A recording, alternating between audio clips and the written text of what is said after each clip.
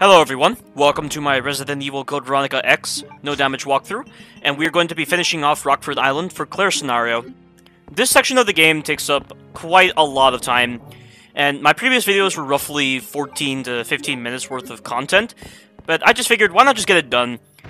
You know, I figured it'd be a greater challenge for myself, because there are some pretty challenging encounters coming up, and for this part right here, we have to get past two dogs. You can choose to shoot the dogs, or you can knife them, or do whatever you want with them. I just choose to run past them, and what I do is, if the dogs decide to get up the moment I get down the staircase, I just immediately make a run for it. If they get up earlier than that, I walk, and then I wait for the dog that's directly in front of me to not be looking at me, so that when I do decide to run, he's going to run into a wall, because he has a lot of trouble making very sharp turns. Despite this, however, I still recommend that you get rid of the dogs, the dogs are pretty good at hitting you when you're trying to get to the ladder because the tank control system doesn't really offer a lot of fluidity of movement based on how rigid it is. So trying to get a very sharp angle just to get to that ladder can be pretty tricky when those dogs are active. It's not like it matters if you waste ammo or not. You're going to get so much ammo back anyway. But make sure you pick up the grenade launcher, and we're going to be finally using the blue keycard here so we can discard it. There are going to be some grenade rounds in this room and there will also be one of the proofs that we need to gain access to the plane that will allow us to get out of here. And that's pretty much the main objective of this whole entire section. You have to get these three proofs if you want to get out of here. So, just follow the strategies accordingly and you'll be fine. But coming up is going to be one of the trickiest parts of the game, and it's going to be the lab area that has the baby albinoids.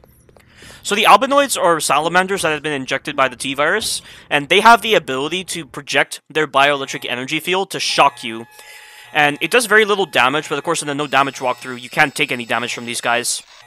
And this enemy type is pretty bullcrap. For some unknown reason, it takes two grenades to kill them. And they're some of the tiniest enemies in the game. Why the heck should a tiny enemy like that take more than two grenades?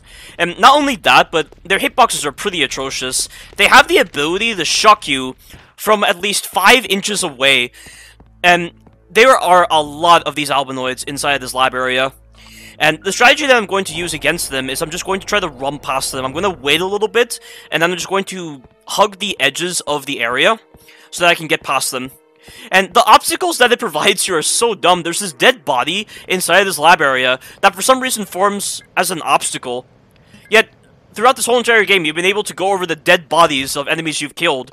This is such a dumb obstacle. I could understand if there was a capsule or something in the way, but a dead body? Like, could you be any more pathetic with your obstacles? Like, come on. But this is it right here. So once you pick up the skeleton picture, this albinoid triggers the lockdown to begin. And this albinoid is important later on because Chris is going to fight this albinoid later on when it mutates into an adult version of itself. But take this nice and slowly, quick turn once you spawn these guys, hug the other edge, and then be very careful right there. You see how that Albinoid didn't shock me just then? I was very lucky. If he chose to shock me, I was done for. But regardless of whether I was going to shoot them or not, it would still guaranteed a RNG-heavy strategy. I mean, I suppose a better strategy would be to use the explosive bolts. Maybe the grenade launcher isn't the best choice to use. And the game does give you acid rounds, but you only fire a single acid round, and that is not enough to allow you to hit multiple enemies. Whereas with the grenade rounds, you fire a cluster of grenades, so it makes it very easy to hit enemies. So trying to align yourself properly so that you can hit an albinoid with the acid rounds is very hard to do. And even if you were going to use a grenade launcher, it would just be pointless because they take two grenades for no reason. If those enemies died in one shot from the grenade launcher, I think that would actually be a better design section. But as it stands, you're going to have to rely on that strategy when it comes to dealing with that room. But I guess this is the perfect time to talk about the grenade launcher right now. So the grenade launcher.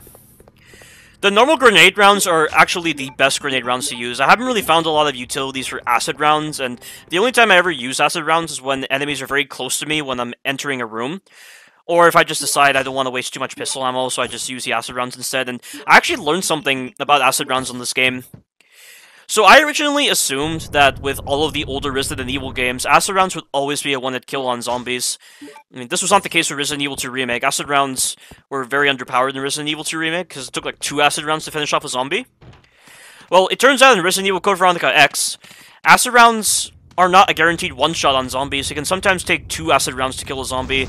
And I don't know what causes this, but if the acid rounds are very inconsistent in damage, then that makes them not very reliable when it comes to a very useful utility. Oh, I'm gonna have to pause in this particular tangent because we're about to come across this room over here.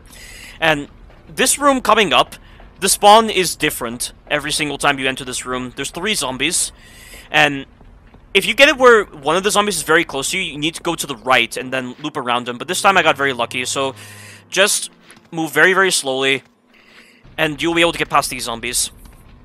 I don't know why that spawn there is random, and that's definitely one of the rare parts of Code Veronica where the spawns are random. I mean, the only Resident Evil game that has random spawns whenever you enter a room is Resident Evil 0. But to balance out this random nature to the spawns in Resident Evil 0, the enemies would always retain the damage that you dealt to them previously. This was not the same case in the other Resident Evil games. In the other Resident Evil games, the enemies would always regain their health every time you re-enter the room, but their spawns were always the same every single time you re-entered the room. I mean, this isn't that big of a deal, because for the most part, in Resident Evil 1, 2, and 3, and all the games before Resident Evil Code Veronica X, you can pretty much run past zombies very effectively, and you never really have to shoot them or knife them. But in Resident Evil Code Veronica X, you definitely want to finish off the zombies, and make sure that they are dead, because then it just feels like it's a waste of ammo if you end up partially finishing off a zombie, and then you re-enter the room and they're just alive with all their health back again. And I say this because of the turbo nature of the zombies. I got screwed several times when I was trying to record this section by turbo zombies. And with the amount of times I was getting screwed by the turbo zombies, I had to make doubly sure that the zombies were dead. And that they would not just go turbo at a very close range. And you're going to be seeing me use the uh, acid rounds in this whole entire area for dealing with several zombies that are relatively close to me. And then once I do get rid of the zombies that are close to me, I'm just going to swap to my pistol and get rid of the other zombies. That's literally the only reason I would ever consider using the acid rounds. Every other section, I just don't really see a lot of uses for the acid rounds. I mean, maybe acid rounds are really good against very specific enemy types. I know that Carcinogen SDA utilized acid rounds against the adult Albinoid when he was playing as Chris, but you can easily get that section done with just the submachine guns, because you do get the submachine guns later on as Chris. And to continue on with the other rounds that the Grenade Launcher can obtain. The Incendiary rounds are pretty good. I know that they can one-shot Bandersnatches, but you only ever encounter one Bandersnatch as Chris. Maybe I'll use a, an Incendiary round against that one Bandersnatch you encounter as Chris, and then maybe utilize the Incendiary rounds against other enemy types. And then the final round you can obtain for the Grenade Launcher that's only exclusive to Resident Evil Code Veronica X, and also to Resident Evil Code Veronica, is the BOW gas grenades, and I have not been able to find these gas grenades, nor have I ever looked up a guide on how to obtain them, because I don't really see a lot of uses for them, honestly. I mean, they are very powerful grenades, but I don't know if I'll really use them in this walkthrough. Oh, by the way, this is a boss fight. It's a really dumb boss fight, because the boss for this section is that zombie who's looking at me right now, and he is a full-on turbo zombie. He will always be turbo. And for some reason, he works very differently to the standard zombie. He doesn't get flinched when you knife him in the legs at the right moment. And he also has more health than the standard zombie, so the pistol just isn't going to cut it. So the best way to deal with that guy is to fire two grenade rounds at him. The grenade rounds will always stun him, and he will die very quickly. And then he drops his eyeball. But the reason why I call that a really dumb boss fight, even though the grenade rounds constantly stun him every single time you hit him, is because there's no reason for that guy to work differently to the standard zombies.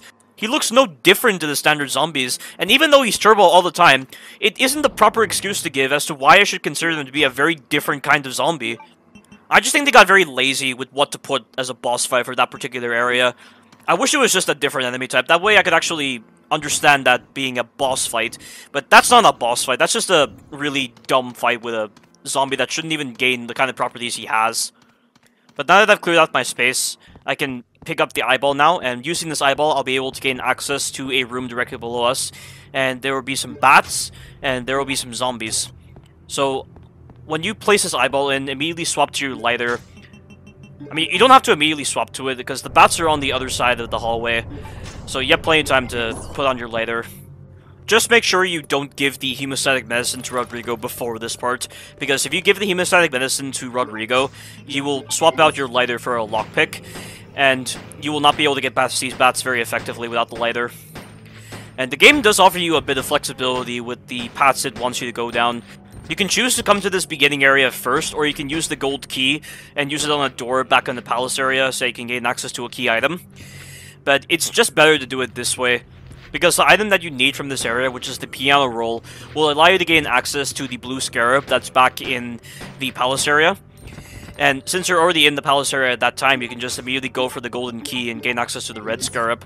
So this is definitely the most optimized path for a no damage walkthrough, or if you're just trying to get through the game normally. But go down these stairs, and we're going to gain access to a death trap area that houses the piano roll that we need. And I have no idea why the Ashfords decided to design this death trap the way it is. Because this is not really a death trap. They're giving you the ability to manipulate the gas by turning this crank. Once you turn this crank entirely, the gas just completely disables.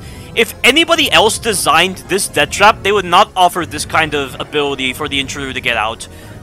Although I guess they wanted to take a more sadistic approach to the death trap, because maybe what they're trying to do is fill you with uh, false sense of security, and then when you place the rusted sword inside of this casket, a zombie busts out, and you can choose to kill the zombie or not. I choose to kill it because this zombie can be a big pain if he decides to go turbo.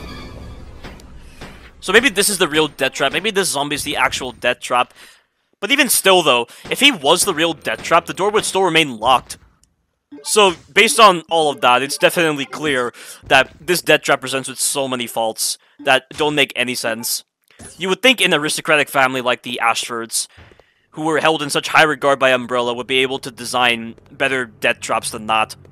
I mean, look at Lucas Baker from Resident Evil 7. The guy's not part of any kind of aristocratic family, and he's an amateur inventor, yet somehow he was able to design one of the best death traps ever made in the Resident Evil history, where if you try to solve the death trap the way he wants you to, you're gonna die. Unless you cheat. So you have to cheat in order to get out of the death trap, which makes total sense for a death trap. So clearly, there is no direct correlation between wealth and death trap capabilities, which you would think would be the case, but apparently it isn't in the Resident Evil series. But we have now obtained the piano roll, which will allow us to gain access to the blue scarab. But before I make my way back to the palace, I'm going to go over to Rodrigo, and I'm going to give him the hemostatic medicine so that I can get the lockpick. You won't be needing the lighter anymore from this point onwards. I mean, the only other section where you'll need the lighter is at the beginning of Chris's scenario, because if you can save Rodrigo from the Gulpworm, you'll be able to obtain the lighter, and Chris can therefore use the lighter to obtain the submachine gun. And the submachine gun is especially helpful for saving up on pistol bullets, especially after you upgrade uh, Claire's handgun, because Claire's handgun has the highest DPS out of any of the other pistols in the game if you can upgrade it. And this is precisely why we need the lockpick. We need the lockpick so that we can gain access to the handgun parts. And the handgun parts are inside the Duralumin case that I picked up. And not only that, but we'll be able to use a lockpick to access the other Duralumin case that I got in the first part of the walkthrough. And that will allow us to gain access to bowgun powder. And I cannot stress enough how important it is to obtain that bowgun powder. Bowgun powder is so helpful for making the explosive bolts. And explosive bolts are the most powerful weapon in this game. They will absolutely destroy everything, and you need a lot of explosive bolts for the final boss fight if you want to demolish her. But we have finally obtained the lockpick, and I'm going to use the uh, lockpick to obtain the upgraded handgun. There we go. And all you gotta do is just combine the parts with the handgun, and you have now obtained the most powerful pistol in the game. And it actually has an extended mag, it can actually hold uh, 20 bullets, and it's fully automatic. I mean, you still have to tap the button instead of holding it in order for it to actually work. And you can also swap between the modes, you can swap back to single fire, Although I can't imagine why you would want to do that, because this auto-fire mode for the handgun is so beneficial. And it helps in clearing out zombies, it helps in clearing out a lot of the popcorn enemies, such as the moths later on, because the moths in the Antarctic facility are one of the most annoying enemies in the game. But I'll talk about them when I get to that part of the game, which is very, very soon. It's going to be in the next part. And it's just such a damaging tool. But we are now making our way over to the palace area so that we can use the gold key to obtain the red scarab. But before that point, we're going to meet up with Wesker, who is a key character in Resident Evil Code Veronica. He is the guy who attacked Rockfort Island, and he is the guy who wants the T Veronica virus, and he is the guy who absolutely humiliated Chris to such a degree that Chris really had to undergo a lot of intense training to really keep up with Wesker, to make sure that he could actually survive a lot of these inescapable situations and a lot of these lucky pass moments. Because you will not believe the amount of lucky passes Chris gets in Resident Evil Code Veronica. I imagine that's just very humiliating. You know, how exactly would Chris be able to keep up with Wesker if he didn't put himself through intense training? If Chris didn't try to become the person he was in Resident Evil 5? You know, that amount of humiliation is bound to force anyone to go through intense training to make sure that they are keeping up with their opponents. You know, can you give any kind of logical reasoning as to why Resident Evil 5 shouldn't exist? There is no reason that Resident Evil 5 shouldn't exist, and there is no reason that Resident Evil 5 Chris shouldn't exist. Like, you know, the amount of people that complain so much about Chris's biceps and just the way he was, and that he's just turned into a stereotypical wrestler. What possibly could make people believe he is a stereotypical wrestler? They're only judging that based on his physical appearance, but trust me, Chris is nothing like that in Resident Evil 5. You just can't trust the judgments of the Resident Evil community these days. They're just not used to characters evolving through the games. They're so used to the character being exactly how it was from the very first game that he was introduced in. And so when they see Chris the way he is in Resident Evil 5, they're just like, oh, it's suddenly action horror, it's, it's not survival horror anymore. Like, can you believe that there are people like that who exist in this world? Do you have any idea how impossible it would have been for Chris to survive the kind of situations he was put through in Resident Evil 5 if he didn't undergo a lot of intense training? Heck, Chris would have been dead in Chapter 1-1 of Resident Evil 5 if he didn't put himself through intense training. Wesker made this known to Chris. Wesker clearly showed in Code Veronica that Chris was useless. Chris was nothing. Chris was nothing the way he was. He stood absolutely no chance against Wesker in Code Veronica. And people were like, oh, maybe Chris will actually find a way to beat Wesker. No! There is no physical way that Chris would find a way to beat Wesker if he didn't put himself through intense training. There is no way Chris would have been able to survive the enemies. There is no way Chris would have been able to survive the death traps. There is no way that he would have been able to survive anything that Wesker offered if he didn't put himself through intense training. So if you want to blame anyone for potentially making Resident Evil more action horror than survival horror, blame Wesker. If Wesker hadn't injected himself with the virus and humiliated Chris to such a degree that Chris looked at himself as being very useless when compared to Wesker, then Chris would never have tried to push himself and become who he was in Resident Evil 5. But no, people like Chris took steroids in Resident Evil 5. No, Wesker did! Wesker injected himself with the virus to become who he was. He didn't go through the intense physical training that Chris did. He cheated his way to becoming the kind of super BOW that he is. So if you're going to blame a Resident Evil game that caused Resident Evil to become more action-oriented and actually made it stand out from other survival horror series out there, blame Resident Evil Code Veronica. Game critics have literally called it the closest the series has got to emulating a Hollywood action feature. You heard me right, a Hollywood action feature. There are a lot of actiony things in this game, this game gives you a lot of ammo. This game gives you a lot of machine guns. You have a lot of enemies in single rooms. You have a lot of different enemy types that are pretty lethal. And then you have all the action moments happening during the cinematics with Wesker attacking Claire, with Alfred attacking Claire and Steve, with Steve being the kind of badass that he is. You have all these kind of things that make this feel like a very actiony, fixed camera-based game. And these kind of actiony moments are in the older Resident Evil games. So in all honesty, guys, action horror is literally no different to survival horror. It's just a name that people make up just to cling on to the past. That's all it is. There is no difference between action horror and survival horror. So when people are making the kind of complaints that they have about Resident Evil 4, 5, 6, and all these other Resident Evil games that they consider to be action horror, but then not look at the other action elements in the older Resident Evil games, that to me is just bias, and it's only helping in satisfying this illusion of action horror. Every single survival horror game in existence has action in its own specific way. Action is not just simply explosions everywhere or something akin to that of Call of Duty. Action is literally high-octane gameplay that is high-octane in the minds of the person perceiving it. Even games like Outlast, which are mainly just horror simulators since you can't fight back in any sort of way, have action in their own way when you're just speedrunning through the whole entire game, when you're dodging attacks, when you're just, you know, getting scared by all these different things. That is action in its own right.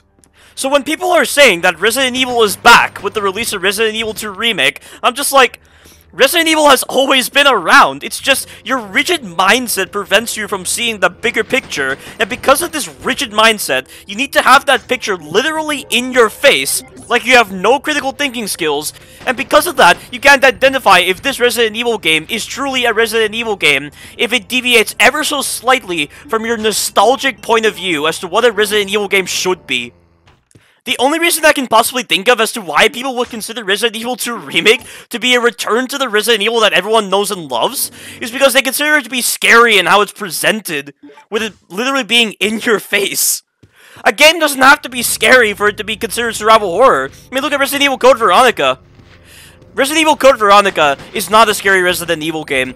This is a very actiony Resident Evil game in how it's presented, and the scary elements that it does have just don't feel as impactful Despite this, hour, it still maintains the other aspects of survival horror really well. You have the limited ammo, you have the different weapons, you have the different enemy types, you have the really nice feedback systems, you have the different environments, you have the different tones of atmosphere.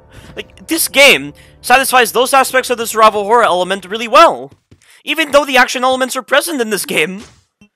So, the main gist of this argument on the action elements of Resident Evil is that there is no argument to be made. Like, as the proportions of each of the individual aspects of Resident Evil increased, so did the action. The bigger games received more action elements to satisfy that proportion to make the games playable in a way that doesn't feel broken. That's why you had such improved mechanics in Resident Evil 4 that leaned heavily on the action aspects because they increased the proportion on the enemies, on the bigger environments, on the lethality of the enemies. Like, that's just logic. So, why people are trying to make this argument as to why action horror is such a big problem, or why they even consider action horror to be a thing whatsoever, is just baffling to me.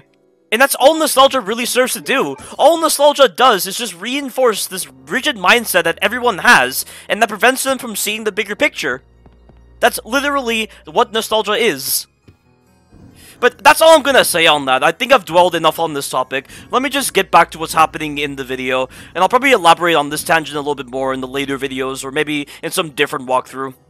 So we have managed to make our way to the apex of this building, and we have finally obtained the last proof that we need to gain access to the plane. And fun fact, depending on whether or not that was the final proof that you needed, the cutscene that plays will be different. In a very slight way. If that wasn't the final proof that you needed in order to gain access to the plane, the self-destruct sequence will not trigger, but if that was your final proof that you needed, the self-destruct sequence will actually trigger during this cutscene that's about to play. Which is a nice dynamic moment that happens in this game, and there are a lot of dynamic moments like that depending on your actions in Resident Evil Code Veronica. So of course, in my case, the self-destruct sequence has been activated. The timer hasn't started yet. The timer only starts when you get to a brand new area, of the facility. But that won't be for a while. So now we just gotta make our way back to the safe room. And once we are outside of the safe room, we're gonna be able to reunite with Steve. And don't think that Steve is going to support you in any way. And Steve doesn't even give us the kind courtesy of clearing out any enemies along the way. So it makes you wonder, how the heck did Steve run past these guys? And he has a lot of submachine gun ammo at his disposal. Kinda wish the game let you do that where you can just run past certain enemies, and then once you get to that point, Steve would just clear out the rest of the enemies so that it was a safe journey back. But I guess I didn't want you to be too reliant upon that. But I really don't see the whole advantage of it. I mean, this is the last time we're going to be in this area, and we won't be coming back, so... Does it really make that much of a difference if Steve decides to kill a bunch of these enemies that we're only going to be seeing one last time? I don't really think so. But I have all three proofs in my inventory right now, and now we are going to reunite with Steve. Cue awesome music that plays when the self-destruct sequence begins, and this is honestly one of my favorite pieces of music in this game. It really gets your heart pumping. Resident Evil's always been good for that, with providing a really satisfactory theme to coincide with the self-destruct sequence. Well, aside from Resident Evil 1 Remake, because the music on that game is almost non-existent with how soft it is. The self-destruct theme for Resident Evil 1 Remake was so boring in its reimagining of the original version's self-destruct theme. I think the original version's self-destruct theme is way better than the remake's version. So I don't know how they could royally screw up the soundtrack for Resident Evil 1 Remake and introduce some really boring themes for some of the bosses on that game. Like with Yawn, for instance. Yawn in the original version of Resident Evil 1 had some pretty tense music. I mean, it wasn't quite as tense as Resident Evil 3's final boss fight, but it was some pretty good music. I'm not talking about the director's cut version, though. I'm talking about the original version of Resident Evil 1. The director's cut version of Resident Evil 1 has some really awful music because it was made by a different composer. But Yawn's music in the original version of Resident Evil 1 was way better than in the remix version of Resident Evil 1. Resident Evil 1 Remake is really the main Resident Evil game that has the most bad music. And then second to that will probably be Resident Evil 2 Remake. Because I don't really hear a lot of the good music in Resident Evil 2 Remake, and a lot of it is just so hard to hear that it's almost like you're hearing nothing. And for my walkthrough for Resident Evil 2 Remake, I turned my music off, and I didn't really feel any different at all. I didn't really feel any kind of emotions springing to light with the inclusion of the music. So, that's just the second Resident Evil game that I would consider to have some pretty bad music or music that's just very boring to hear, and it doesn't really change the tone of the game that well, because it's just not noticeable. But we have now obtained the airplane key, and using this airplane key, we're going to gain access to the elevator that will allow us to start the countdown for the self-destruct sequence, and gain access to a boss fight. And the boss fight is going to be against the Tyrant. And the Tyrant is one of my favorite boss fights in this game, because it's designed for knife only, and the same goes with the Plane Tyrant as well, only the Plane Tyrant isn't designed for knife only, it's designed for cargo only. But focusing mainly on this first fight, it is designed for knife only because you can use the knife to dodge his attacks. And if you wait for him to step a certain amount of steps, you will be able to time your knife hit so that you can dodge his first attack and then just lay into him. And there are two different states you can put the boss into that could potentially affect the strategy. If, after the second knife hit, he flinches, you've got to knife him twice afterwards. You gotta knife him once so that he gets stunned, and you gotta knife him during his stun animation, and then take a step backwards, and then repeatedly knife him. If he doesn't do the flinch after the second knife hit, you've got to knife him until he gets stunned, but don't knife him during the stun animation. And then just take a step backward and knife him. But this is it. One, two, three, four, five, six, Seven, and then knife.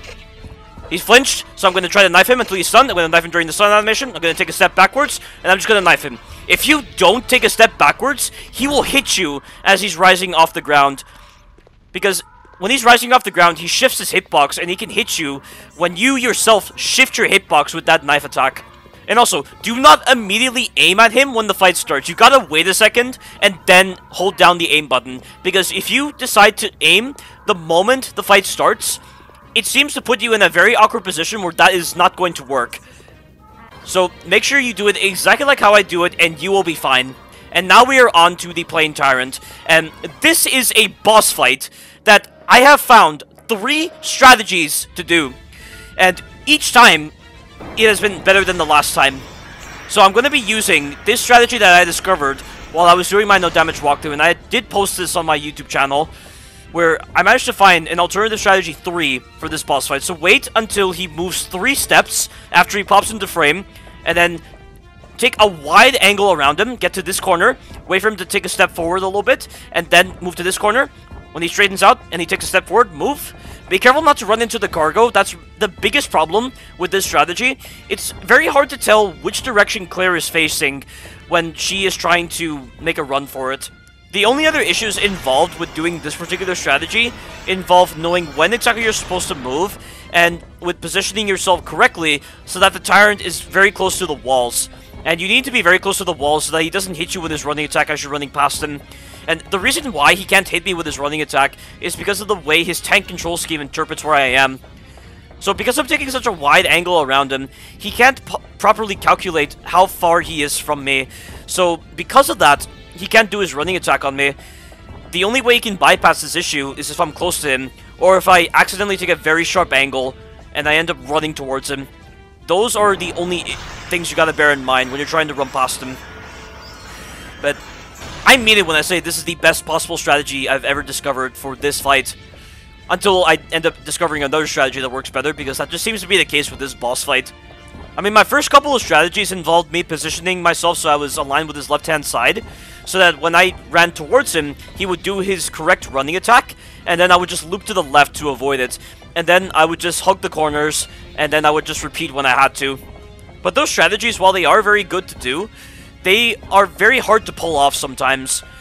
Whereas with this one, this isn't that hard to pull off, even though I know for sure it's going to be challenging for some people. And a lot of people have really benefited from my alternative strategies for this fight, because this is definitely one of the hardest fights in the game. And I can definitely understand why.